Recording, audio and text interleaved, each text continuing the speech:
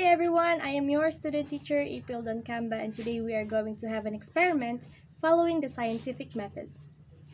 So first, let us have an observation. And that question will be, have you ever wondered why some objects float in the water and others sinks? According to our research, it has something to do with the density of the water and the object. And for our hypothesis, anything that has a higher density compared to the water will sink into the water. And now let us have our experiment. So we are going to use these materials. First, we will be needing a fresh water, salt, transparent glass, eggs, and spoon for stirring. So first, let us pour some fresh water in this glass, half full.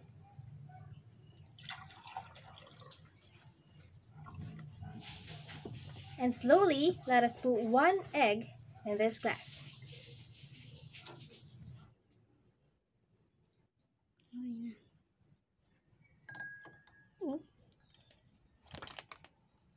As you can see, the eggs sink into the bottom of this glass filled with fresh water.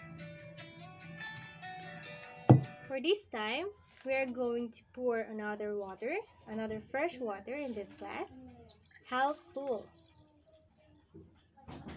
And this time, we are going to put a lot of salt in the glass.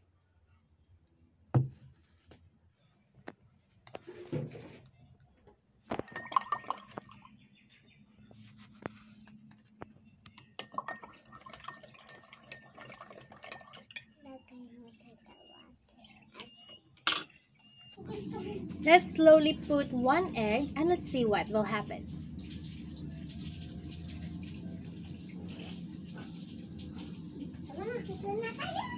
As you can see, the egg floats in the salt water. What do you think is the reason behind this? Hmm.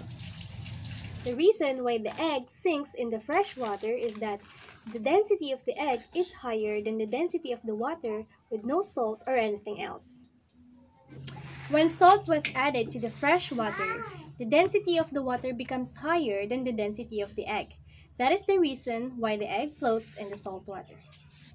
Now, we can accept our hypothesis that anything that has a higher density compared to the water will sink into the water.